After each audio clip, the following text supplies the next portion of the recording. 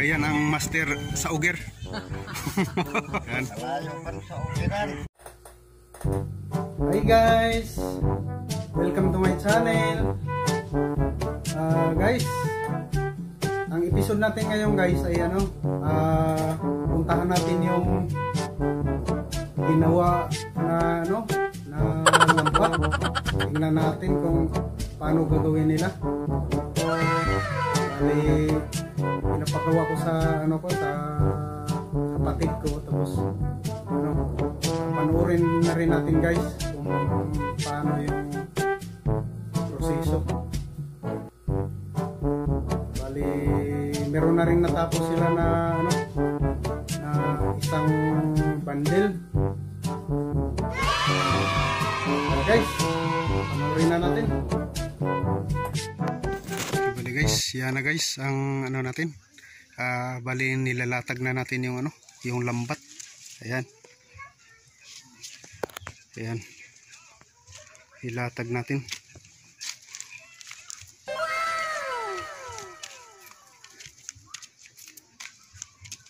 Ayan guys.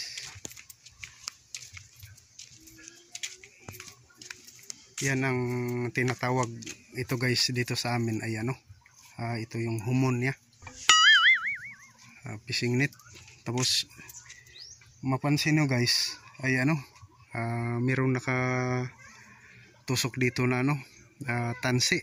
Pinaka ano niya pinaka kapitan ng ano ng ano natin para tatayo yung yung ano yung lambat.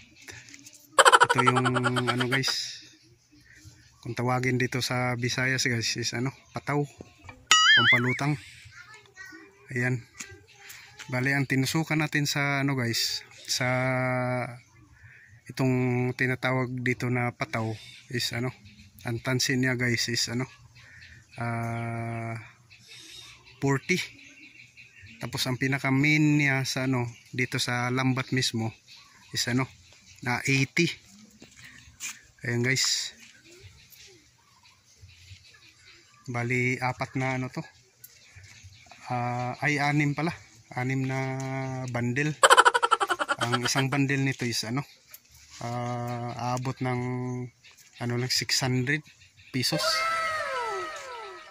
Ito yung nayari namin kahapon guys. Sa isang araw lang. Ayan. Pinapa biniti namin para ang ano niya ang pinaka pinaka ano niya pinaka bilog is ano ah, nauunat siya.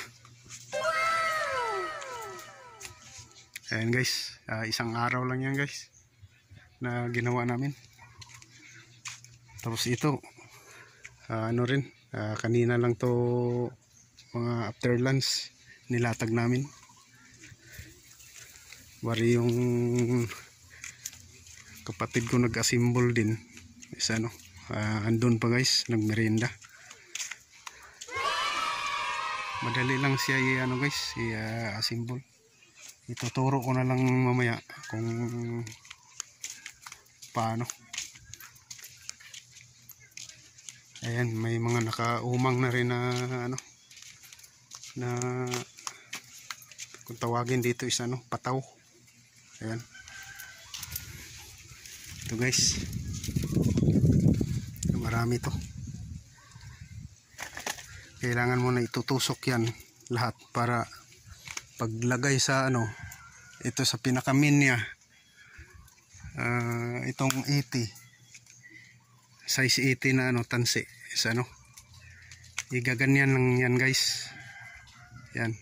Tapos ah, tali. Tapos dito rin tali. Ayun si Makmak guys oh. Mak. Nagwagwapo ni Makmak ay ay Mak tanaw ba? Oh ayan. Ayan guys.